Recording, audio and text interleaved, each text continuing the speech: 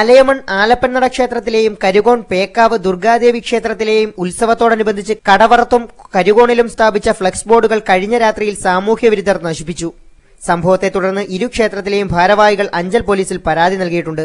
പുത്തയം ജംഗ്ഷനിൽ ആനപ്രേമികളുടെ സംഘടന സ്ഥാപിച്ച ഫ്ലക്സ് ബോർഡും സാമൂഹ്യ വിരുദ്ധർ നശിപ്പിച്ചതായി പരാതിയുണ്ട്. ഇത്തരത്തിലുള്ള സാമൂഹിക വിരുദ്ധരെ പോലീസ് നിയമത്തിനു മുമ്പിൽ കൊണ്ടുവരണമെന്ന് ക്ഷേത്ര ഭാരവാഹികൾ ആവശ്യപ്പെട്ടു. News bureau Anchal.